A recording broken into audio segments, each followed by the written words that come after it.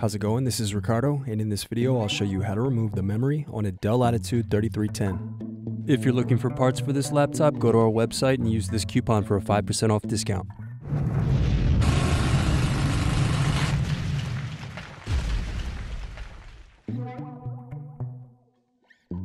First unscrew, then use fingers to separate and remove base cover.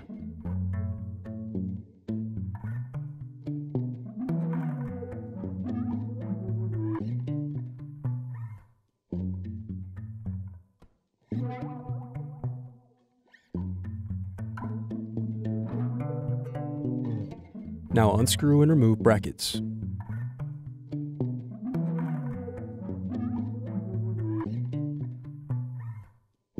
Then disconnect and remove battery.